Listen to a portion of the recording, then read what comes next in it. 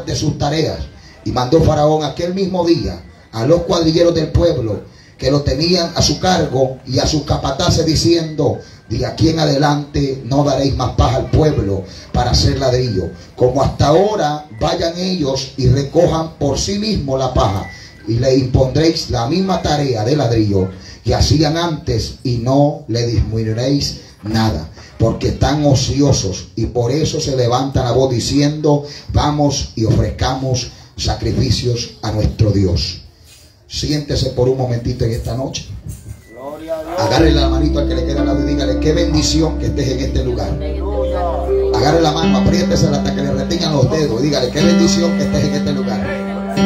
Vamos, dígale, que qué bendición que estés en este lugar. Agárrese la fuerte y dígale, si no fuera por mí, tú serías el centro de esta noche, porque está guapísimo. Los hijos de Dios estamos guapos. ¿Cuántos alaban al Señor? Quiero predicarle en esta noche bajo el tema desafíos, aleluya, y opresiones antes del arrebatamiento. ¿Cuántos alaban al Señor? ¿Cuántos alaban al Señor en esta hora? ¿Cuántos alaban al Señor en esta hora? Desafíos y opresiones antes del arrebatamiento. La Biblia nos da grandes reseñas, amado hermano, de lo que es la segunda venida de Cristo en gloria. Habría reseñas impresionantes. Mi alma alaba al Señor. Eh, de lo que será la segunda venida de Cristo en gloria. La Biblia nos enseña cómo Cristo vendrá a reinar con su pueblo durante mil años, cómo vencerá al anticristo, gloria sea el Señor, y cómo vencerá a los ejércitos que se levanten contra el pueblo de Israel en aquel tiempo, aleluya, donde Él vendrá en gloria con la iglesia. También la Biblia nos enseña, mi alma alaba al Señor, cómo serán los juicios en el tiempo de tribulación y de gran tribulación. Aleluya, en aquel momento calamitoso donde seguramente ninguno de nosotros queremos estar porque gloria sea el Señor si estamos aquí en esta noche porque estamos en el Espíritu. ¿Cuántos alaban al Señor en esta noche? Y porque estamos peleando esa salvación, aleluya, tan gloriosa que nos ha sido otorgada por gracia, por medio de la fe, aleluya, y la misericordia de Dios que ha sido tan grande para con nosotros. Sin embargo, tenemos que entender algo, gloria sea el Señor, y es que antes de la segunda venida de Cristo en gloria, acontecerá un magno evento, el más grande de toda la historia, en esta dispensación, el cual es el arrebatamiento. Y el arrebatamiento de la iglesia se dará justo antes del inicio de la gran tribulación. Y aleluya, la Biblia nos da una reseña impresionante. Y la reseña que la Biblia nos da de este evento es que dice la escritura que se tocará la última trompeta. ¿Cuántos pueden alabar al Señor en esta hora? Y hay muchos, aleluya, que han dicho que esa última trompeta es la última trompeta de los juicios del libro de Apocalipsis. Porque Pablo habla en Primera de Corintios capítulo 15, verso 51, cuando dice, he aquí os digo un misterio, no todos dormiremos, pero todos seremos transformados. Y en un momento y un abrir cerrar de ojos, a la final trompeta porque se tomará la trompeta, aleluya. Los muertos serán resucitados, incorruptibles, y nosotros seremos transformados. Porque es necesario que esto corruptible se vista de incorrupción y esto mortal se vista de inmortalidad. En, segunda de, primera de Tesalonicenses capítulo 4, Pablo dice, luego nosotros los que hayamos quedado, aleluya, seremos arrebatados en las nubes para recibir al Señor en el aire. ¿Cuántos pueden alabar al Señor? Y así estar siempre con Él. Denle la gloria a Dios en esta noche. Oígame bien, la Biblia habla de que se tocará una trompeta. Y aleluya, hay algunos maestros que han enseñado que esta trompeta, y alma alaba al Señor, es la trompeta que suena en Apocalipsis, una trompeta devastadora, una trompeta de juicio. Pero lo cierto es que en el Antiguo Testamento la Biblia enseña que habían distintos toques de trompeta, exactamente habían tres tipos de toques de trompeta. Y uno de los Alma mía, adora al Señor, cuando la trompeta era tocada para juicio, eso indicaba que el pueblo tenía que santificarse, aleluya, y guardarse para Dios porque había anatema dentro del pueblo. ¿Cuántos pueden alabar al Señor en esta hora? También la Biblia enseña de que había tiempo donde la trompeta sonaba, alma mía, adora de Dios para guerra. Y era cuando el pueblo tenía que prepararse para ir a la batalla, cuando el pueblo tenía que prepararse para ir a la guerra,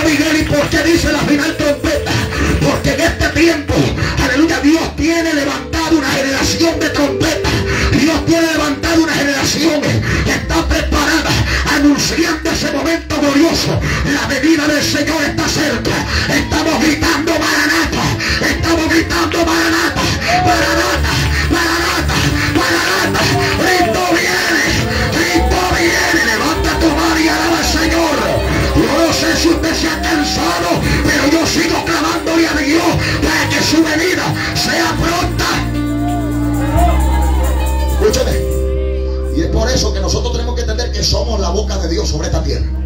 Y somos una generación de trompeta que está sonando. Aleluya. Y está tocando.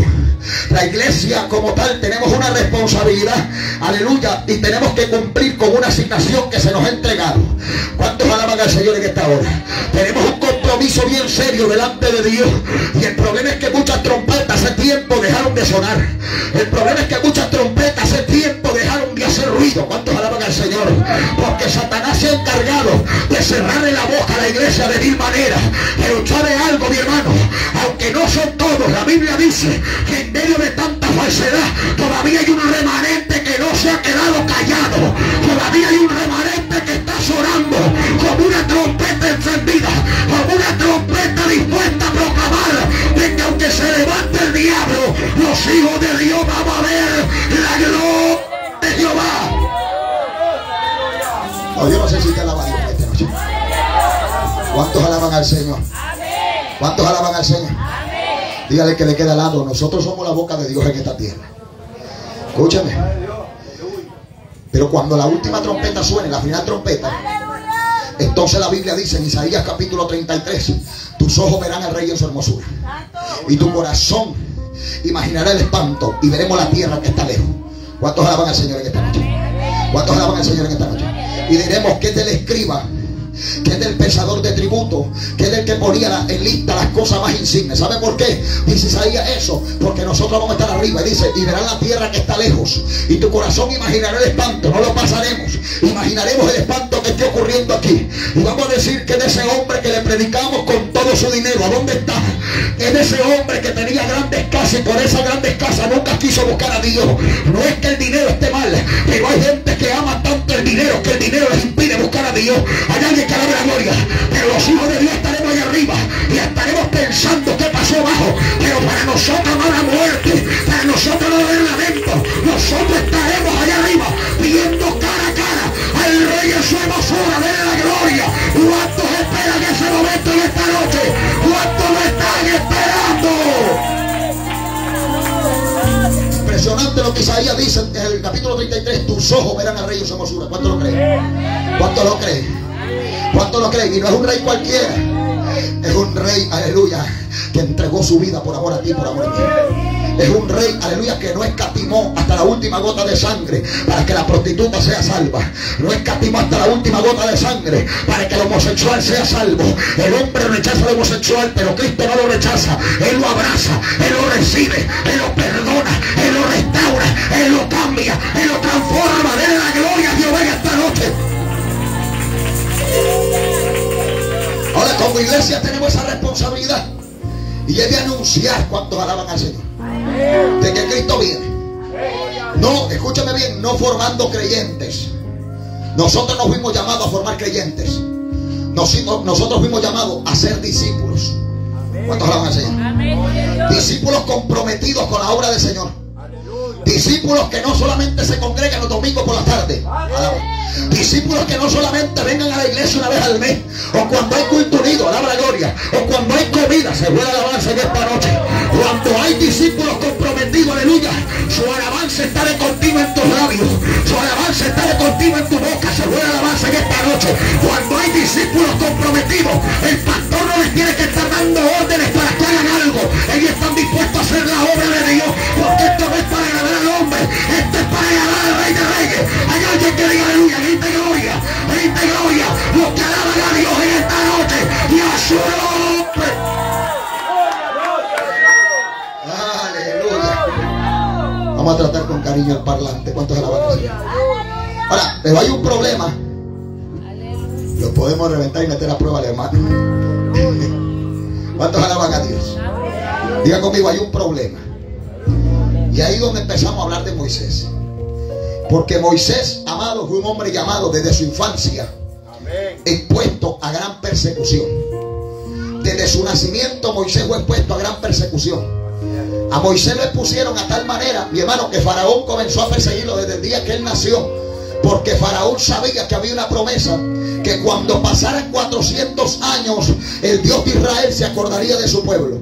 Fíjense que Faraón tenía más fe que los de Israel porque los de Israel estaban dormidos y por lo tanto Dios hasta los 430 años se acordó, aleluya, y volvió sus ojos sobre la tierra cuando el pueblo comenzó a clamar. Pero la Biblia dice que Faraón estaba percibido y estaba entendido en los tiempos. Y él cuando se cumplieron los 400 años comenzó a matar a todo el que nacía, de hijo, aleluya, todo el varón que nacía, porque él sabía que en medio de ellos venía un libertador. Pero qué tremendo cuando alguien tiene un llamado de parte de Dios, porque Satanás tratará de matarte en el vientre de tu madre. Satanás tratará de meterte la droga. Satanás tratará de mandar alguna enfermedad para apartarte. Pero cuando Dios tiene un propósito con alguien, aunque el diablo se levante como torrente, Dios va a levantar algo sobre nosotros. Bandera de victoria. Y alguien que la vea en esta noche.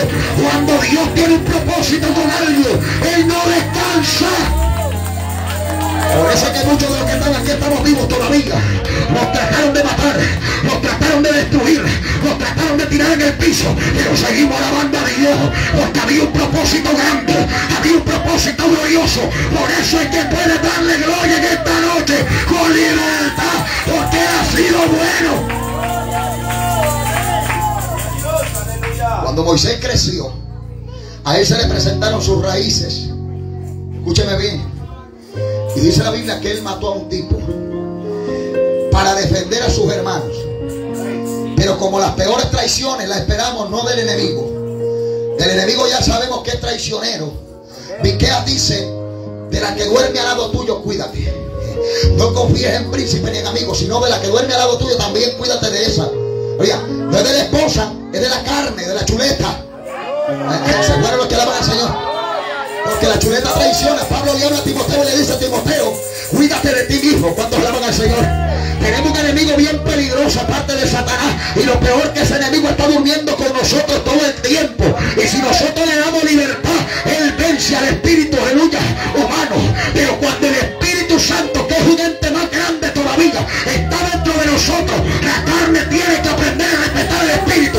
Hay alguien que la en esta noche. Y entonces Moisés creció. Y cuando creció, dicen que los hermanos lo delataron. Y dice que estaban peleando entre ellos. Y llegó Moisés le dijo, no estén peleando entre ustedes, ¿cuál es el problema? Se van a estar matando. Y le dijo uno de sus hermanos, ¿qué me vas a hacer? ¿Me vas a matar como mataste al egipcio?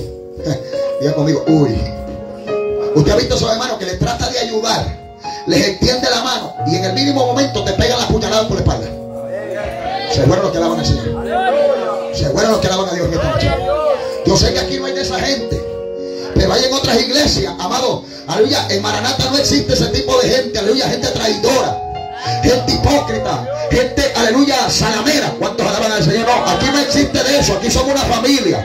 Se fueron los que alaban al Señor. Aquí los miembros no hablan mal del pastor. ¿Cuántos alaban a Dios? Aquí los miembros no hacen pequeños concilios para acabar con el testimonio del hombre, de la mujer de Dios. Eso es en otras iglesias, en otras visiones que sucede. Pueden alabar al Señor en esta hora. Y la Biblia dice que los hermanos, los hebreos, le dijeron, te vas a matar como mataste al otro. Moisés dijo, Ahora sí se puso fuerte la cosa. Porque solo es cuestión de tiempo de que esto salga a la luz. Ese es otro tema. ¿Cuántos la Ese es otro tema. Y salió corriendo y fue Moisés a pasar el proceso de la humillación. Después de haber tenido propiedades, después de haber tenido grandes cosas, fue a cuidar las ovejas de Jetro su suelo. ¿Cuántos alaban a Dios? Porque muchas veces cuando Dios te va a llamar, te va a poner a cuidar lo de otros primero para ver cómo eres capaz de administrarlos. Pero en medio de todo eso, Moisés demostró ser eficiente. Diga conmigo, Moisés era eficiente. Era eficaz en lo que hacía. Y dice la Biblia que un día, aleluya, él miró hacia el monte y se dio cuenta de que había una zarza ardiendo. Y el problema en aquel tiempo no era que la zarza ardiera. En ese lugar muchas zarzas se encendían. Algunas salían hablando en lengua por allá, otras salían danzando por allá. Así que lo impresionante no era que la zarza hablara en lengua o que la salsa estuviera prendida o que la salsa danzara. Lo impresionante era que la salsa, a pesar del viento, seguía encendida. La salsa, a pesar de la tormenta, seguía encendida. Usted me está entendiendo en esta noche. La salsa, a pesar de la brisa, seguía encendida. Es una salsa, no una salsa cualquiera. Porque esta salsa no la pagaba la lluvia. Esta salsa no la pagaba los vientos. Esta salsa no la pagaba la tormenta. Esta salsa había aprendido el verdadero significado de mantenerse encendido todo tiempo. Y a Moisés le llamó la atención eso y dice la Biblia que llegó. Y cuando él llegó, él recibe el llamado de parte de Dios. Alabado Dios. Están aquí en esta noche. Están aquí en esta noche. Pero como es típico del hombre, cuando es llamado, Moisés comenzó a poner excusas. Ya voy terminando. ¿Cuánto alaban al Señor? Van 20 minutos, me quedan. ¿Cuánto? Dice 40. ¿Cómo? 50. Mire, pastor, ¿está bien? Diga conmigo, Moisés comenzó a poner excusas. ¿Usted quiere saber cuáles fueron las excusas que puso Moisés? Son exactamente las mismas que muchos de nosotros ponemos en este tiempo. Exactamente las mismas excusas. Como cuando usted dice, me fui de la iglesia porque me hicieron mala cara. Igualito. Se fue la alabanza en esta noche. Me fui de la iglesia porque estaba llena de chismosos. Usted esperaba que la iglesia esté llena de santos. Si este lugar es un hospital que está lleno de enfermos queriendo ser sanados. Que esperaba que la iglesia... Alaba la gloria en esta noche. Y Dios le dice a Moisés, Moisés, el pueblo comenzó a clamar y yo necesito libertar a mi pueblo. ¿Y sabe qué le dijo Moisés? Excusa número uno. Moisés le dijo, aleluya, ¿quién soy yo para que vaya Faraón? Diga conmigo, limitaciones personales. Siempre estamos poniéndonos nosotros mismos antes que Dios. Pero ese es otro tema, avanzo. Segunda excusa. Capítulo 4, versículo 1. Dice que Moisés le respondió diciendo a Dios, he aquí que ellos no me creerán. Diga conmigo, el temor a la falta de evidencia del poder de Dios. Hay gente que no salen a evangelizar, no salen a predicar la palabra porque le da miedo. Le tienen miedo al diablo. Alaba la gloria del Señor en esta hora. ¿Sabe por qué? Porque ellos no han aprendido a tener intimidad con Dios.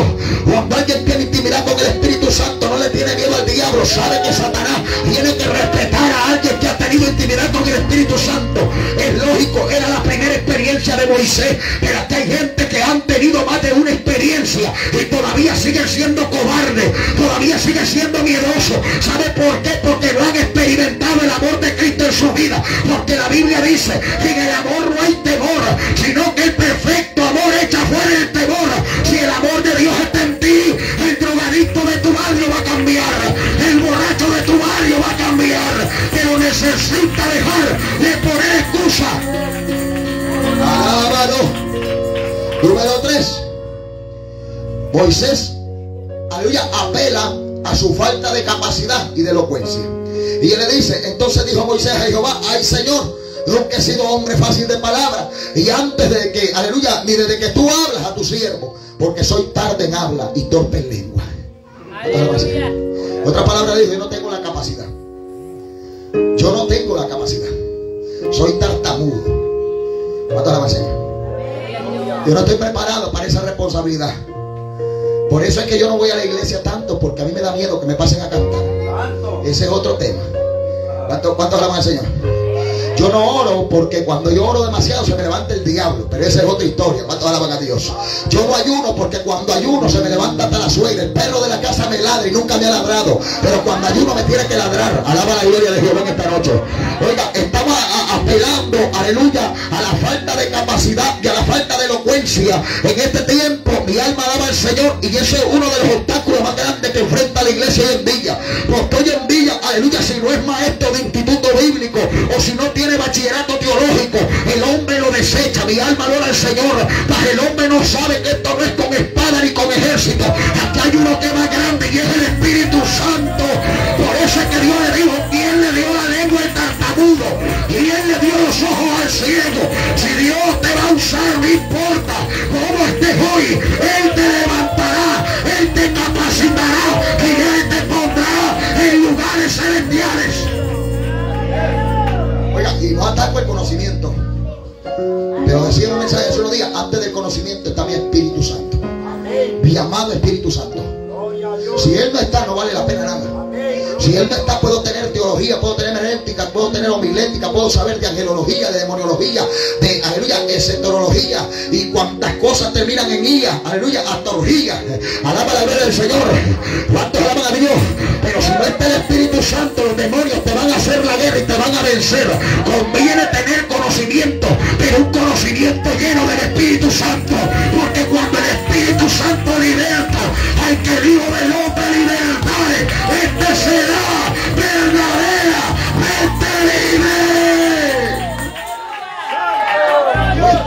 ni tu capacidad. Es quien te llamó. Por eso es que aquí hay pastores que van para cosas grandes en el Señor. Si su fe se acabó, la mía está nuevecita. Y yo le digo que Dios no ha terminado con usted todavía. Dios tiene algo preparado todavía por su vida. ¿Cuántos alaban al Señor en esta hora? Diga conmigo, número cuatro. Hermano, este mensaje va a quedar incompleto. En otra se lo predico. Diga conmigo, quiso darle su responsabilidad a otro. Le voy a volver a repetir. Quiso delegarle su responsabilidad a otro. Y hay una parte que te toca a ti. No todo usted se lo puede dejar en la mano. madre. Dios pagó el precio por su salvación. Pero la unción tiene un precio. Y usted no puede estar eh, colándose de la unción del pastor para ver la gloria de Dios. Hay hermanos que ya tienen harto el pastor todos los días, 10 de la mañana y 7 de la noche, llamándole, pastor, ore por mí. Me visitó una bosque, una bosque aleluya. Me salió una cucaracha ren que estaba endemoniada, ore por mí. La gente tiene cansado, aleluya, los pastores. Y él te dijo, aleluya, que la unción solamente es para ellos. Ellos tienen una asignación diferente, pero las señales, la responsabilidad, las evidencias, la manifestación del poder de Dios es para aquellos que creen, para aquellos que caminan en Dios, para aquellos que le han creído al Rey de Reyes. Oh, yo sé que usted no alaba a Dios en esta noche, pero si usted puede alabar de la gloria al Señor, no podemos estar echando la culpa a otro de nuestro fracaso. No podemos estar delegando nuestra responsabilidad a otro. A ti te pusieron en tu familia para que te ganes a tu familia. A ti te pusieron a tus hijos para que te ganes a tus hijos. No puedes estar esperando que otro llegue cuando Dios te puso a ti. La iglesia no avanza. El pastor es Aragán. Esa es otra historia. Este- este- Esta es una noche de recordatorios. Diga conmigo, ese es el primer problema de la iglesia. Gente con falta de compromiso. Gente que son buenas poner excusas. Gente, aleluya, irreverente. Gente, mi alma alaba al Señor, que no tienen respeto por la presencia de Dios. Se fueron los, los- los adoradores en esta noche. ¿Cuántos alaban a Dios en esta noche? ¿Cuántos alaban al Señor en esta noche? La segunda, aleluya, opresión y el segundo desafío que tenemos son las opresiones de Faraón sobre el pueblo de Dios. Satanás se está levantando como un torrente. Mi alma alaba al Señor tan fuerte, mi hermano, que hoy nuestra familia corre peligro aún con lo que están viendo en las redes sociales. Satanás está preparando, mi alma alaba al Señor, armas sigilosas para pervertir a la generación venidera. ¿Sabe por qué? Porque él sabe que el libertador está a punto de aparecer y él quiere distorsionar el diseño para que tu familia no se salve, para que tus hijos no se salven. Pero allí es donde la iglesia tiene que levantarse, porque la Biblia dice que no ignoramos sus maquinaciones, sino que fuimos puestos en este lugar para reprender las obras de Satanás. Moisés llega donde Faraón y le dice, Faraón, así dice Jehová, deja ir a mi pueblo para que me hagan fiesta en el desierto. Y le dijo Faraón, ¿por qué hacéis cesar al pueblo de sus tareas? Usted sabe que Satanás lo que quiere es que usted no se congregue. Satanás está feliz cuando usted se la pasa peleando con la vecina. Satanás está feliz cuando usted se la pasa de chismosa todo el día. Se vuelve alabanza en esta noche. Satanás está feliz Satanás no quiere que usted cese, aleluya, de las asignaciones que le ha puesto. Porque Satanás quiere tenerte dormido o anestesiado. Seguro los que alaban al Señor. Satanás, aleluya, no quiere que usted diga voy a santificarme. Él no quiere que usted diga voy a ayunar. Él no quiere que usted diga voy a levantarme en la madrugada a orar. Quiere que usted esté tranquilo diciendo ya Jesús pagó el precio. Ahora me toca descansar en Él. Seguro los que alaban a Dios en esta noche. No, mi hermano. Dios está buscando una iglesia que esté dispuesta a decirle a Faraón, deja ir a mi pueblo. Oh, el Dios al que yo adoro. Aleluya. ¿Cuántos alaban? Y por eso pone afanes. Entra, aunque solo sean los días que va al culto. Que la rosa de Guadalupe, que casi está cerrado. Los días que voy al culto, solamente. El resto de los días no hay nada. Que se duerme dentro de la iglesia. Si usted brinca con los benditos coritos y se duerme con el mensaje, usted está en problemas. Porque Satanás ha puesto un espíritu dentro de la iglesia que la gente brinca con los coritos y a la hora de la palabra están durmiéndose, llamando al predicador. O, o alaba la gloria en esta noche.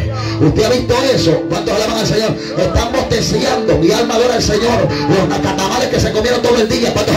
Y el problema es que cuando llegan a la casa, saben que no se duermen. Ahí no le da sueño. Ahí se le ve el sueño. Ahí comienzan a ver tonterías. Alaba a Dios. Si puedes alabar en esta noche. Alaba la gloria de Dios en esta noche. A estar viendo memes. A estar metido con el teléfono. A estar jugando Free Fire. A ya estar dándole cabida al diablo. ¿Cuántos alaban la gloria de Dios en esta noche?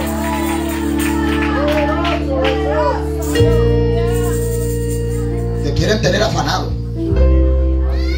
Satanás quiere que lo primero que usted salude en la mañana sea el novio. Y que lo último que haga es despedirse del novio. ¿Y Dios dónde quedó? ¿Y Dios dónde quedó? ¿Y Dios dónde quedó? Diga conmigo número 4. Vamos, diga conmigo número 4. Para que no se duerma. Satanás se ha encargado de que esta generación no quiere escuchar a los hombres de Dios. Cuando, aleluya, Moisés salió de donde Faraón y llegó donde el pueblo, el pueblo lo estaba esperando bien enojado. Y a su nombre. Bien enojado. ¿Y sabe qué le dijo? Viniste a meterme en problema. Estábamos bien y ahora estamos mal.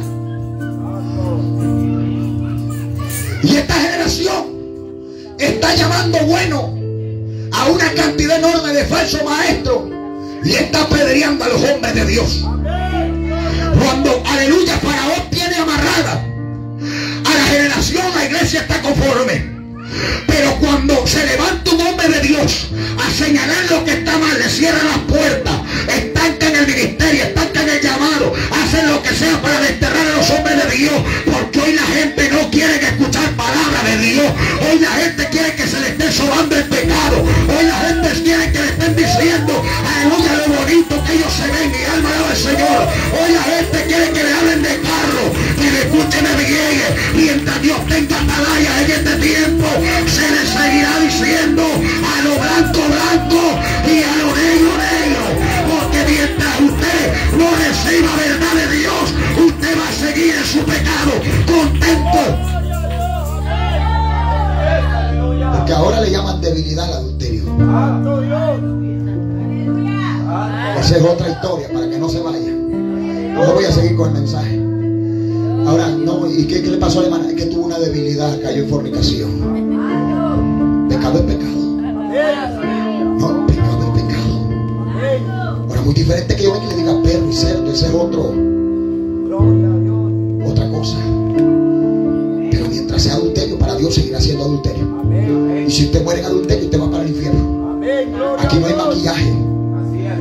Aquí, aleluya, el único respeto es el que tiene que ponerse usted para resistir la palabra. ¿Cuántos, alaban al Señor? ¿Cuántos alaban a Dios? Se fueron los que alaban al Señor. Tan serio. Ya, ya mejor voy a terminar. Tan serio. ¿Cuántos alaban al Señor? Mire, la, la gente no quiere escuchar palabras de Dios. Hoy enfrentamos unas líneas de hombres que están diciendo que el arrebatamiento no existe, que eso es un cuento de hadas, aleluya, que eso es una mentira. ¿Cuántos alaban al Señor?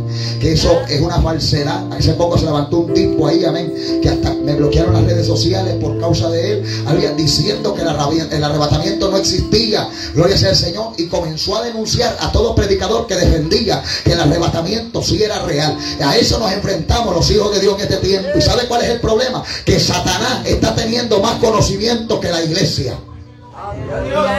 Alábalo. Porque cuando pasa un testigo de Jehová por su casa, usted que se la pasa de flojo todo el día, aleluya, facebookeando y haciendo tontería y no lee la Biblia, ¿sabe lo que usted hace cuando pasa el testigo de Jehová por la casa? Le cierra la puerta mientras él sigue contaminando a otro. Cuando alguien anda lleno del Espíritu, Pablo le dijo a Tito, contiende fervientemente por la fe, contiende fervientemente por la fe, aleluya, porque si usted tiene la verdad,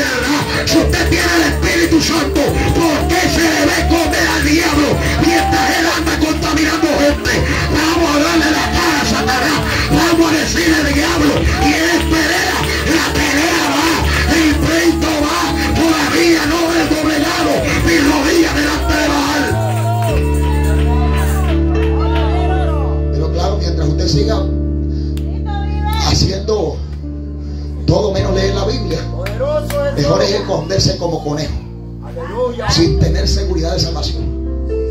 Hoy en día los evangélicos se le esconden hasta los católicos, ya ni se diga los adventistas. Cuando alaban al Señor. ¿Sabe por qué?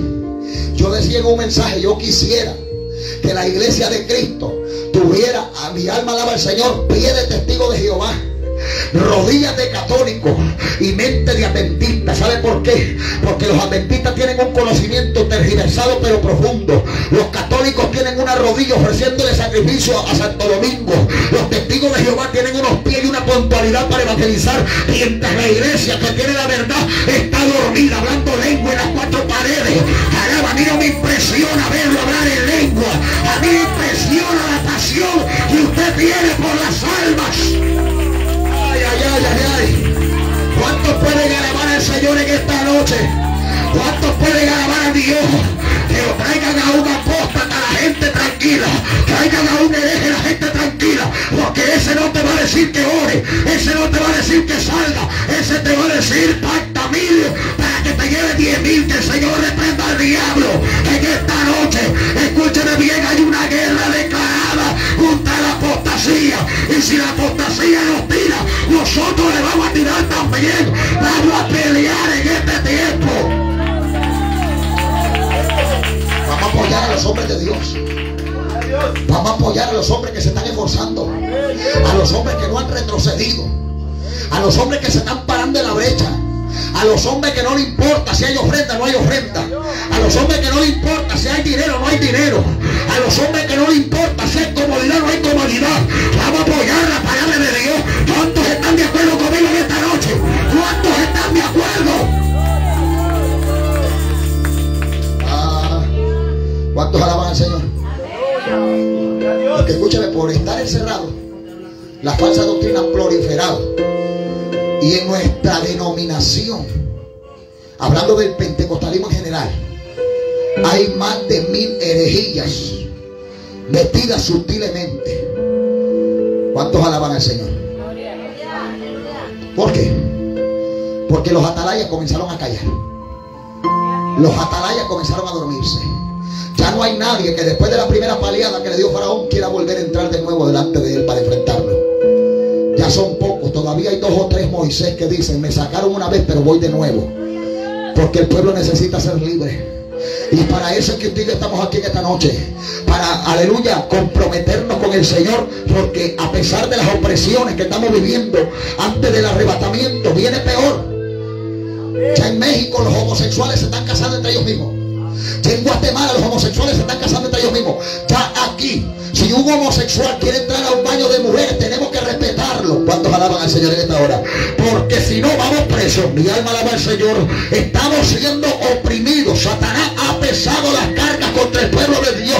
Prepárese. Mire, yo no le voy a decir que vienen tiempos gloriosos. Vienen tiempos de persecución. Vienen tiempos de sufrimiento. ¿Sabe cómo le llama eso la Biblia? Le llama principio de dolores. Pero también sabe algo.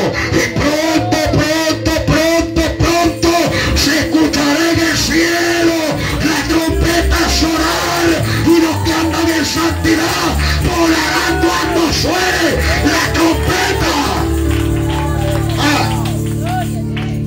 Y eso sí vale la pena. ¿Sabes? Podrán venir opresiones, ya voy terminando en esto. Podrán venir opresiones, persecuciones. Es normal. Porque Satanás sabe que le queda poco. Poco. Poco. Nos van a oprimir. Nos van a perseguir. Mira lo que dice la Biblia respecto al llamado de Moisés. Capítulo 1, versículo 8 de Éxodo. Entre tanto, se levantó sobre Egipto un nuevo rey que no conocía a José y dijo a su pueblo, he aquí el pueblo de los hijos de Israel es mayor y más fuerte que nosotros. Ahora pues seamos sabios con él para que no se multiplique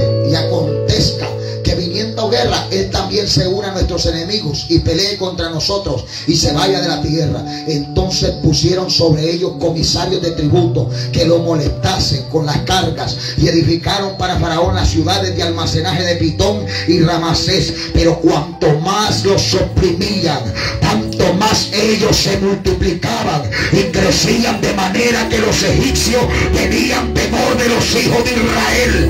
¿Sabe que lo que el diablo no puede negar? Que aunque te quitó la comida, aleluya, tú sigues multiplicándote. Que aunque que te quitaron el trabajo, tú sigues multiplicándote. ¿Sabe que lo que el diablo le enoja? Que que te quiso ver en el piso, que aunque te quiso ver caído, tú sigues alabando a Dios. Eso el diablo no lo soporta. Satanás no soporta cuando los golpes que te dio para matarte apenas le alcanzaron para tirarte al piso de rodillas, clamándole a Dios diciéndole, Señor, hay un avivamiento, hay un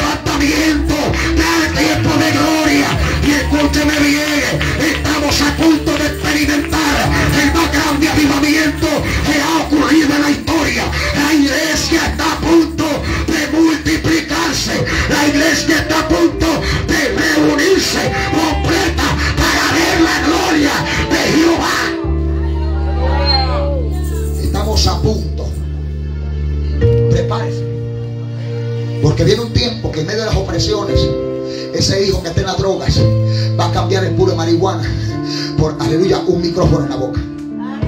Ese hijo que está en el alcohol va a cambiar esa botella de guaro por una Biblia en la mano. Yo no sé si usted puede alabar a Dios en esta hora. Yo voy a empezar a cambiar porque usted está peleando la batalla. Faraón te ha querido oprimir, te ha querido tener en el piso. Son sufrimientos. Jesús lo dijo. En el mundo tendréis aflicciones. En el mundo se levantarán dolores. En el mundo vendrán persecuciones. Pero confiad. Yo he vencido al mundo. Yo he vencido al mundo. Hay alguien que dé la gloria a Jehová. Uh, y a su nombre. Y a su nombre. Aún con los gigantes de hoy que se nos han levantado, vamos a ver la gloria de Dios. Aún con la agenda global, vamos a ver la gloria de Dios. Aún con el ecumenismo, vamos a ver la gloria de Dios. Aún con la doctrina del demonio, vamos a ver la gloria de Dios. ¿Cuántos alaban al Señor? Que nos opriman lo que quieran. Pero somos una misión que se multiplica. Somos una iglesia que se multiplica. Vamos a ver la gloria de Jehová. Sin quitarle ni ponerle a la palabra de Dios. ¿Cuántos están preparados para multiplicarse? ¿Cuántos? Levante su mano los que han pasado prueba en este lugar. Los que han llorado. Voy a levantar las dos, espera. Eso no es novedad. Pero ¿sabe qué dice la Biblia? En Apocalipsis 3.10, por cuanto has guardado la palabra de mi paciencia, yo también te guardaré de la hora de la prueba que ha de venir sobre los del mundo entero para probar a los que moran sobre la tierra. ¿Sabe qué dice? Te guardaré de, no en, sino de. Porque hay gente que dice que la iglesia pasará por la gran tribulación, pero no vamos a pasar. Él nos guardará de. Y la palabra guardar es esconder de, de la prueba que viene sobre la tierra. Nos esconderá, hermano Miguel, ¿a dónde? Aleluya. ¿A dónde nos esconderá? Jesús lo dijo. Si yo me fuere, os prepararé lugar otra vez. Y os tomaré a mí mismo para donde yo estoy. Vosotros también estéis. Mire, yo no sé si usted lo sabía, pero el color de su casa en el cielo es morada. La Biblia dice que en la casa de mi padre muchas moradas hay. Usted no lo sabía. Ah, sépanlo. El profeta Isaías en el capítulo 26, versículo 20 dice, anda pueblo mío, entra a tus aposentos, cierra tras ti tus puertas y escóndete por un poquito, por un momento, entre tanto que pasa la indignación. ¿Cuántos pueden alabar al Señor? Apocalipsis 3.8 dice, yo conozco tus obras y he aquí puesto delante de ti una puerta abierta. Aleluya, porque aunque tienes pocas fuerzas, has guardado la palabra de mi paciencia y no has negado mi nombre. ¿Cuántos pueden alabar la gloria del Señor en esta hora? ¿Cuántos han negado el nombre de Cristo en este lugar? Yo no sé si usted lo ha negado, pero yo no lo niego y lo negaré y tendré la necesidad de negarlo, aleluya. Porque cuando me pongan a negar el hombre, el nombre del Rey de Reyes, que yo voy a estar arriba, no habrá necesidad. Manténgase firme, párese en la brecha, en medio de los sufrimientos, en medio de las opresiones, manténgase firme alabando a Dios. Y sabe algo, la Biblia dice que cuando estas cosas sucedan, erguíos y levantados, porque vuestra redención está cerca. Iglesia del Señor, ese momento se ha llegado. Hoy está más cerca que nunca. Hoy está más cerca que nunca. ¿Y sabe quiénes se van? Isaías 33, 15 y 16 lo dice. El que anda en justicia, el que habla lo recto, el que aborrece la ganancia de violencias, el que sacude sus manos para no dejarse sobornar, el que tapa sus oídos para no oír música del hermano Anuel. ¿Cuántos alaban al Señor? El que cierra sus ojos para no ver cosa mala. Este habitará en las alturas, fortaleza de roca, será su lugar de refugio y se le dará su pan y sus aguas serán seguras. ¿Cuántos alaban al Señor? Escúchame, en aquel tiempo Israel fue libre. Y en este tiempo la iglesia no es ni el Israel espiritual, la iglesia no es ni los gentiles, la iglesia es la conformación de dos pueblos. Que Dios en su infinita misericordia de dos pueblos hizo uno, un tercer pueblo. Esa es la iglesia. Y la promesa para la iglesia, amado hermano, es la siguiente. Porque el Señor mismo con voz de mando, con voz de arcángel y con trompeta de Dios descenderá del cielo. Y los muertos en Cristo resucitarán primero. Y luego nosotros los que vivimos, los que hayamos quedado, seremos arrebatados. Aleluya.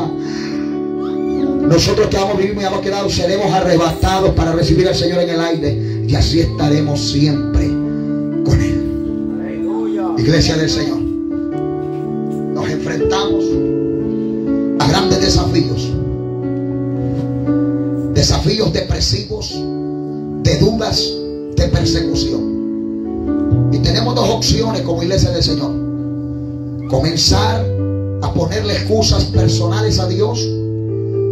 Comenzar, mi alma alaba al Señor, a delegar nuestra responsabilidad a otros. Comenzar, gloria sea al Señor para siempre, a culpar a otros de nuestros errores. Comenzar a esperar tener un título o un cargo en la iglesia para comenzar a adorar al Señor. O tenemos la opción de comenzar esta misma noche.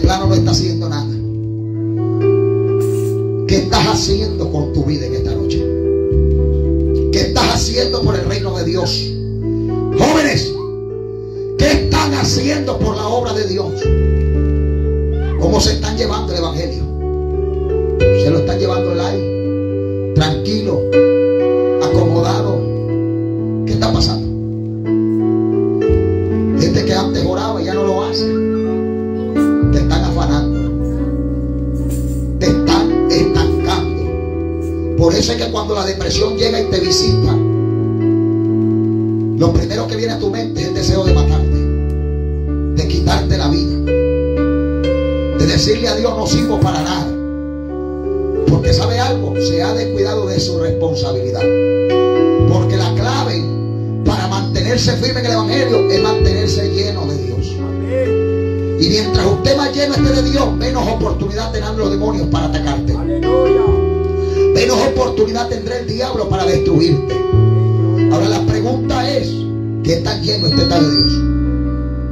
¿Qué tan lleno está usted de Dios? ¿Será que estamos suficientemente llenos? ¿O solo somos apariencia?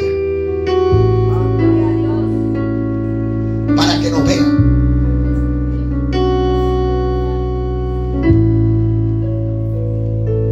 Eso usted lo sabe. Porque después de Dios, el, alguien que se conoce bien es usted mismo. Yo no. Usted sabe las mañas que tienen los secretos. Usted sabe.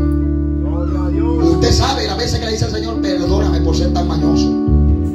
Las veces que le ha dicho a Dios, Señor, quítame la vida, no sirvo para nada. Usted lo sabe. Usted lo sabe. Ahora, estas cargas y estas opresiones traen frustración delante del pueblo. Momentos de dificultades. Y yo quiero aprovechar este tiempo porque sé que cuando estoy abajo somos amigos. Y, y- y miran el risueño y todo el rollo, aquí tenemos un compromiso con Dios. Yo quiero hacer el llamado. Si alguien me dice, hermano Miguel, yo estoy pasando problemas de depresión. Hermano Miguel, yo estoy pasando por un proceso donde yo deseo tirar la toalla. Hermano Miguel, yo estoy pasando por un proceso donde ya yo no aguanto más. Yo ya llega la noche, yo quiero orar, mi boca quiere abrirse, pero no la puedo abrir. Hay algo que ata mi mente. En esta noche yo quiero hacer un llamado a ese tipo de gente. Para orar por ellos. Para ponerlos delante del Señor. Y clamarle como iglesia juntos. Para que Dios le dé nuevas fuerzas. Hermano Miguel, estoy lidiando con la culpa. No aguanto más. A mí no me interesa el pecado que haya cometido. Así se lo digo, no me interesa. A Dios no le interesan tus errores. A Dios le interesa que tú sanes. Que tú seas libre. Que tú seas lleno del poder de Dios. Hace unos días estuvimos en Iquinomo predicando, hermano. La gloria se derramó. Los niños recibiendo el Espíritu Santo poderoso. Impresionante. Pero había una muchachita que me llamó la atención. La muchachita estaba en el altar y estaba lidiando con una violación de su padrastro.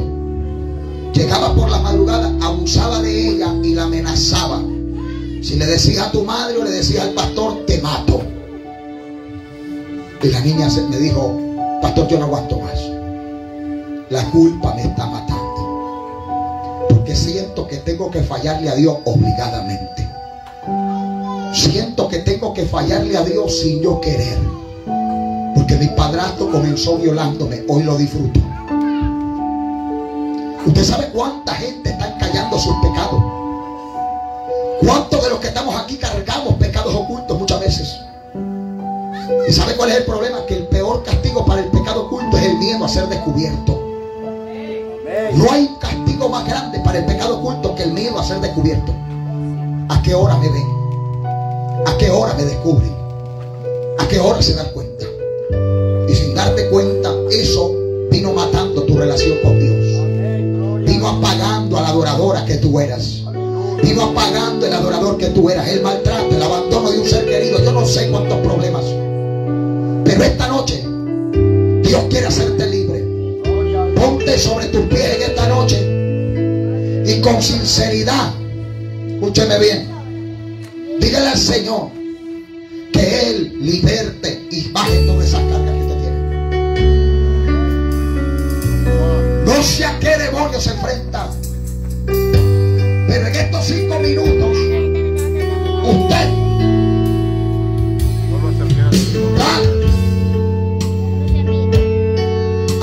a clamarle al Señor. Y a decirle Jehová,